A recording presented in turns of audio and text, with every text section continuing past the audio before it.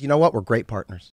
I think the episode, and this is not a yeah. There's a high five happening here oh, for the listeners, and it was sad. really That was bad. so hi- sad. Oh, That's not the high there? five of a best friend. Ah. right oh, oh, Not good. Okay, they That finally, was somewhat painful. for the people nice. who are still listening, they finally connected on the high five. Speaking of high fives, can we just talk for a second about Kaitlin's high five? That's what I was trying to emulate there. She's got a wicked one where she So slaps you Kaitlin's like a. Kaitlin's Oh, she uh, puts a little pop in it, doesn't yeah. she? you're getting ready to go for it, and she just whacks your hand. And I would talk to her about it and be like, "That's not how you high five." And she's like, "Yeah, it is. You you Yeah.